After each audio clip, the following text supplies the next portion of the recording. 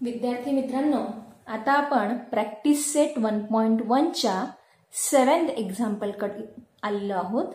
बघा प्रश्न काय विचारलाय? Which figure is formed from three non collinear points आपल्याकडे जर तीन नॉन कोलिनियर पॉइंट्स असतील तर त्यांच्यापासून कोणती फिगर तयार होते? बघा आपण इथे फिगर ड्रॉ करून बघू. Let points A B and C are non-collinear. Okay. Now we have to take them on this plane.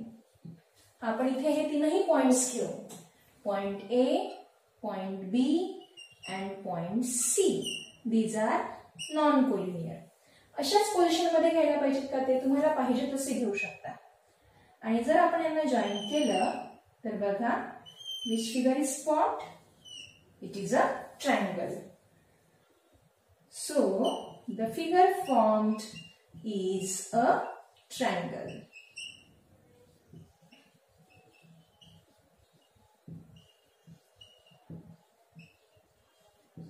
ठीक आहे? तर इथे हे सेव्हन्थ एक्झाम्पल संपलेलं आहे. तुम्हाला वाटेल तसे तुम्ही पॉइंट्स घेऊ शकता. Only the condition is that the points are non collinear तुम्ही घ्या इथे P Q R again join them What will you get? A triangle. So, the figure formed is a triangle. इथे आपलं practice set one point one संपलेलं आहे